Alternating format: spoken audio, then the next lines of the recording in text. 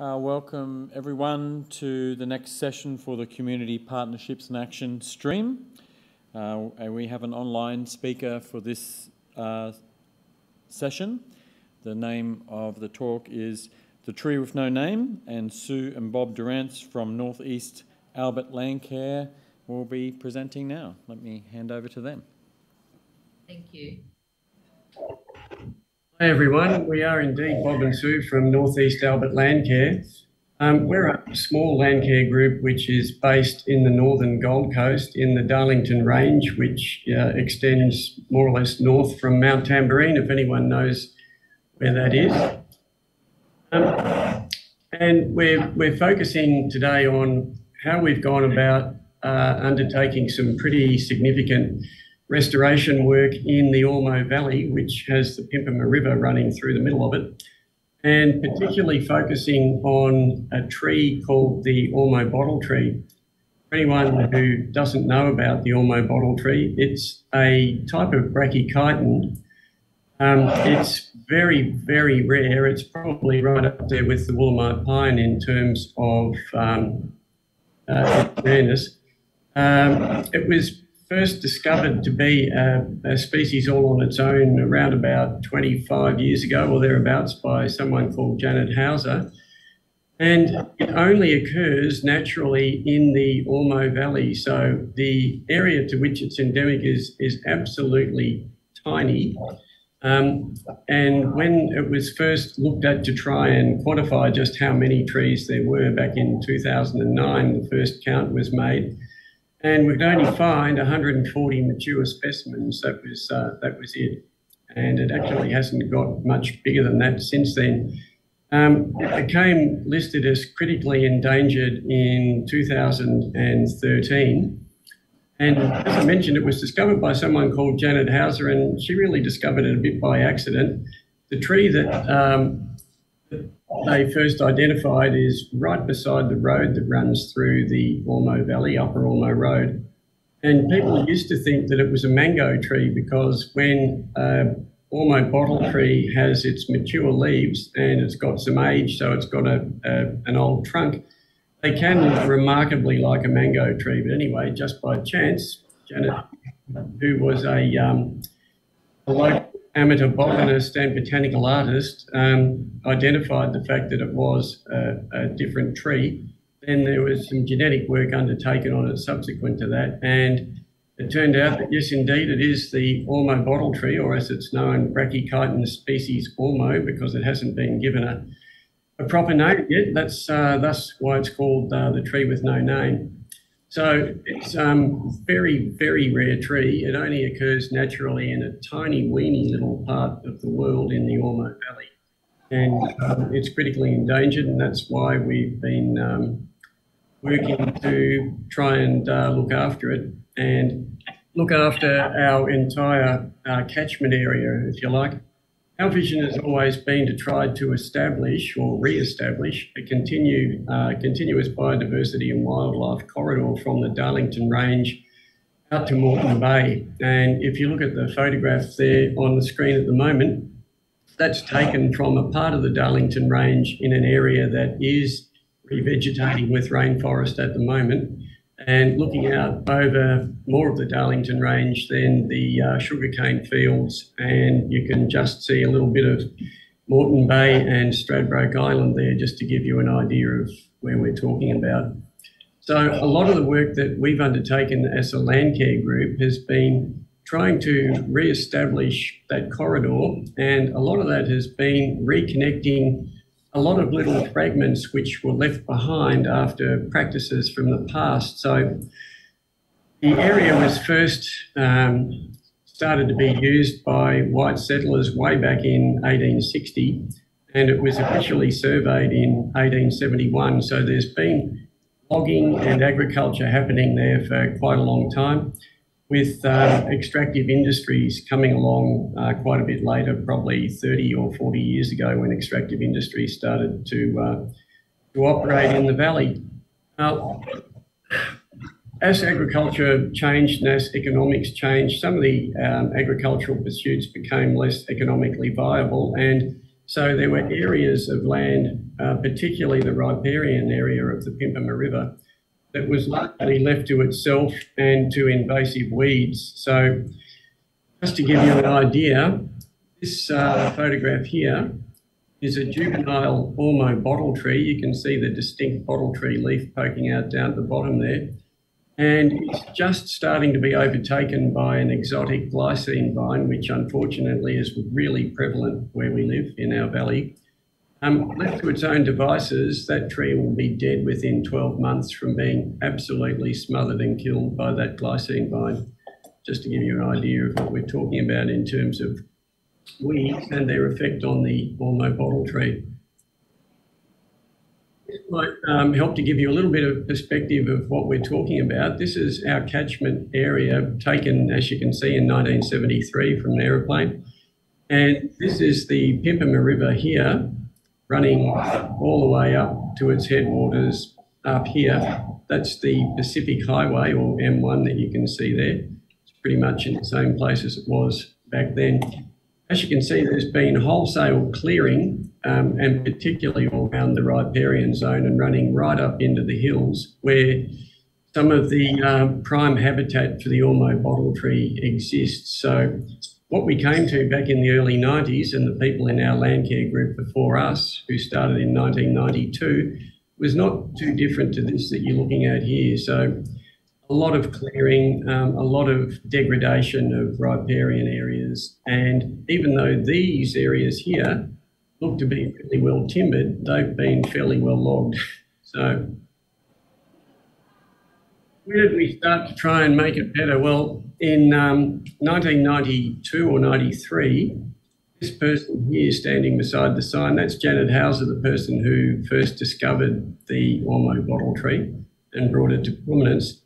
And she got the idea that we should actually try to do some work with the local quarry. Now, a lot of people normally think that a quarry is, is your enemy. Um, in our case, where we live, they've actually been very, very helpful because they own a large tract of the Pimpama River frontage on both sides of the creek in some places. And so the thought was, what if we could get them to uh, be interested in um, undertaking some restorative work? And eventually they came to the party. So, along with um, the company at the time, and it's now since been taken over for many years by Boral Resources, we worked very, very closely with them to clear the area. And that large machine is what Boral used to clear some of the area. That's how overrun um, I mean, hospitable it was with weeds. You just literally couldn't get into it. So that initial partnership with the quarry and the council has led to more or less a, a 30 year partnership. It's still going on now. Um, this photograph over here gives you a little bit of an idea, a little bit of a flavour of what some of the creek in the Boral area looks like now. And even though you can't see them, up here, there's three or four bottle trees of various ages, one very old, mature one, which were previously utterly swamped with uh, all kinds of weeds and lantana and glycine vine and you name it, it was there. Um, but these days, this is a better representation of what the creek looks like there. So working together, how did we do it with uh, engaging other partners? The quarry was a, a, key stakeholder for us, but we also needed to engage private landholders, um, obviously the uh, local community to you know operate um, effectively as a workforce, I guess, and um, importantly. Uh, various levels of government who've been uh, able to provide us with funding from time to time. And through particularly engaging with the private landholders, we've been able to um, uh, reconnect those fragments in between areas that the uh, part of which the councils looked after and part of which the quarry and others look after. So some of the, some of the initiatives that have come out of that is uh, in the middle there you can see here that's that's a house which uh, Boral Resources has made available to our land care group on a permanent basis to be a base for land care. We've been there for about eight years now. That's that's really great. Um, and down here is just to give you a bit of an idea of, of uh, once we've done the initial clearing on some of the quarry site, and this is a very big site, it goes a long way up and down the creek. Um, when we did some early planting, that used to be a concrete batching plant, so it was absolutely, totally and utterly degraded. And um, uh, now, moving forward like 15, 20 years, this is all um, a, a, beautiful piece of natural riparian bushland now. It's really good. Some of the other ways in which it's been great to have that ongoing partnership with the quarry is that they provide us with a small amount of money each year to undertake work off-site. So we can choose anywhere up and down the Pimpama River that we uh, want to do some work and um, they fund it. Now, photo down here where you can see these bollards and the road that's Upper Ormeau Road. Here is actually more or less almost like a miniature park and across the road or across the creek there is a large council conservation area. Now, we were able to get um, from to uh, put up these bollards and put in a fence and undertake some weed control because the area was getting overrun with uh, four-wheel drives and vandals cutting down trees and that kind of stuff. When we had a local botanist called Glenn Leiper do a survey there before we did that work, in just a couple of hundred metres of the creek there, Glenn identified over 62, I think, rainforest species re-emerging there. So that and being across the creek from the large council conservation area made it a strategically very important little piece of creek to continue the, uh, conti uh, putting the mosaic of pieces together going down from the range to the bay. An idea of what's been happening since 1973, these um, large green areas here are all conservation zones bought by the Gold Coast City Council over the last few years and are now permanently preserved and locked up for conservation. So that photograph I showed you from 1973, here's the Pacific Highway, and there's now conservation zones all the way from out here, east of the highway, running all the way up to here. Then that meets areas that we've done as land care, a riparian zone back together, and meets up again with um, further large council conservation zones. So it's been very important, particularly in this area here, which is where the initial population of mature um, Ormeau bottle trees was located, and that's now um, wrapped up safely as a council conservation area. In addition, that's the Boral Quarry site you can see there. Now, if you move up to here, Boral also own a large tract of land in here, which they've permanently set aside as a koala conservation area.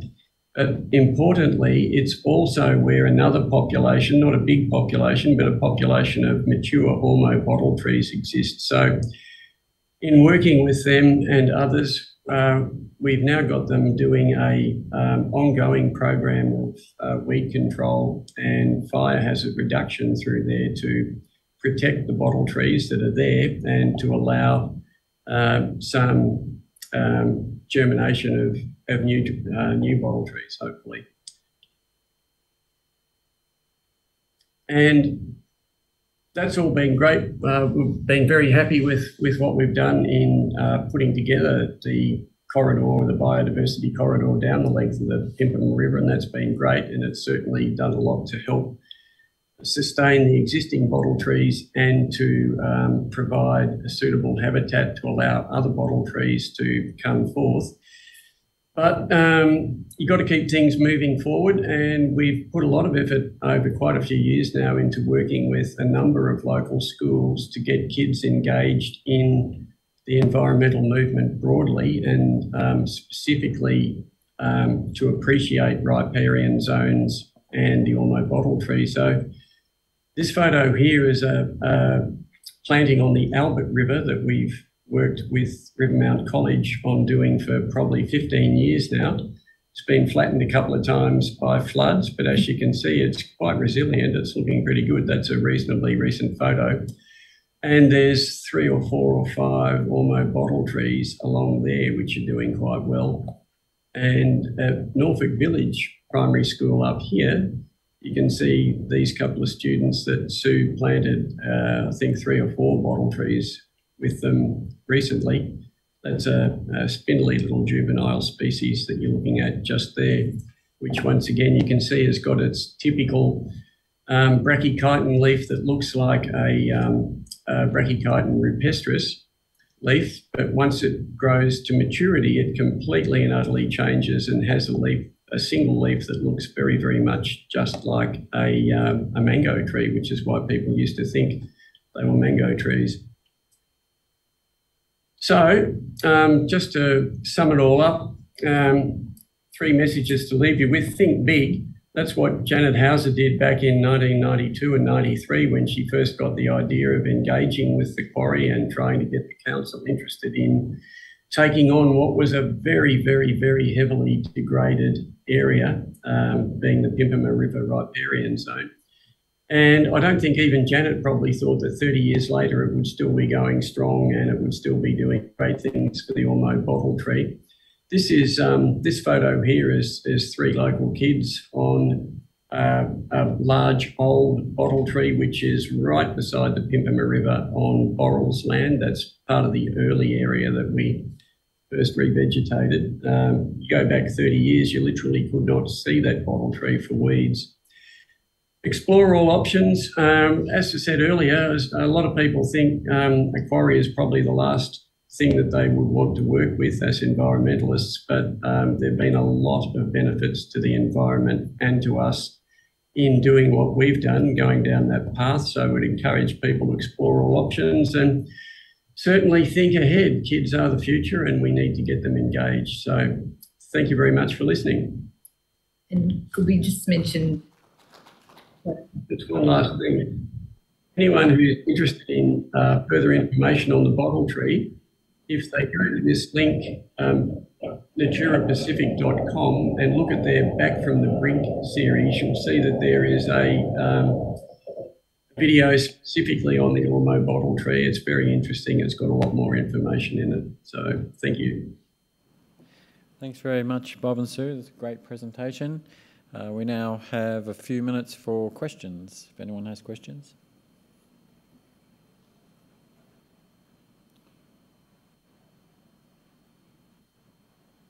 Uh, it's Ella from Katanning in Western Australia here. Um, thank you for your presentation and a big congratulations to you and all your group. You've achieved some amazing stuff there. It was really great to see. Um, I have a question just about that original tree that was the one on the side of the road that everyone thought it was a mango tree. Um, yeah when it became known that it was something a little more special than a mango tree, often when something goes from the obscure to the interesting, it can go either one of two ways. People can come very interested and passionate about it, or people can be idiots and vandalize or things like that. Having one so prominent and so special, how has have you been able to use that for good? How has the community reacted to that that really visible one? Um, it has been it has been both good and bad. Um, it's actually on private property, even though it's beside the road. Um, uh, but there are quite large branches that overhang out past the fence, and in years gone by, they fruit very, very sporadically, and no one really knows why yet. But um, uh, that big one that we're talking about, it's gone 12 years in between fruiting. And when it has fruited, people have come and just gone absolutely crazy in stealing seed, which has been really, really unfortunate. Uh, it's also known locally as the Energex tree because just after just after it got its um, critically endangered listing back in 2013, I was driving down uh, the road to go to work one morning, and there was a troop of guys working for Energex, and they were busily hacking into it with chainsaws. And I pulled up and said, guys, you can't do that. And it's an extremely rare tree and it's protected, it's critically endangered. And they said, oh, don't worry, we won't hurt it. And uh, they cut about half the, half the canopy out of it. And it has survived and it's put on some new growth. But in that way, it's been bad. In a, in a good way, it has provided a lot of people to be able to see what an Ormeau bottle tree is and to then compare it to the more juvenile form and uh, go through the process of how it turns from one thing into the other. And also to gain a bit of an appreciation of the kind of habitat that they require. And where that one is, um, there was quite a lot of weed growth all the way around it, uh, stopping anything much further from germinating, be it a bottle tree or anything else. And so it's also been a really, really handy and easy place to take people to educate them on um, on the importance of weed control um, to allow native stuff to come back. And the um, we have an environmental centre over at Jacobs Well, which isn't all that far from us, the Jacobs Well Environment Centre. It's operated by the Queensland Department of Education, and they quite frequently bring busloads of children out to our valley to look at all kinds of different things. But um, stopping and being able to tell them all about that tree and the importance of, of creating the right kind of habitat for it to thrive and to regenerate has been very handy. So it's been both good and bad.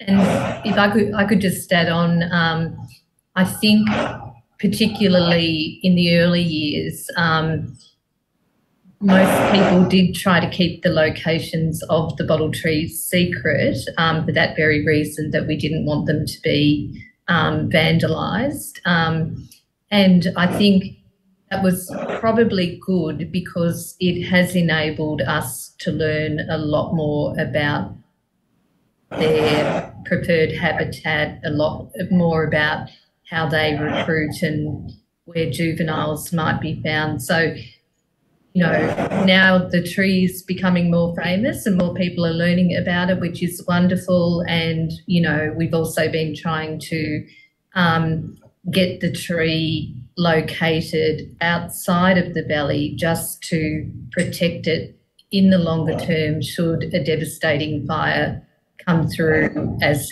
has happened in the past. I think um, I'll just uh, uh, mention a comment online from our online audience, and uh, that'll have to be the last question because we're out of time. Uh, terrific presentation. Thanks, Bob and Sue. Great to see the large companies like Boral get on board uh, with projects like this. Best of luck moving forward. That's from Simon Stewart. Thank you. Thank you. Uh, thank you for the presentation. My name is George Savikas. I'm calling I'm from the Torres Strait how important it is to have images from back then to now. And I know it may be for reporting uh, for incidents, but you use that for educational wise, like for the schools and for younger generations? Look, it, it is really important, and I wish that way back then we'd taken a whole lot more photographs than we did because it, it's it's a, such a handy tool for education purposes. Um, we've got some photographs from back then, but but not anywhere near as many as I wish we did have. I'm afraid we're out of time, and just like to thank Bob and Sue for a wonderful presentation, and I hope one one day I get to see those bottle trees myself.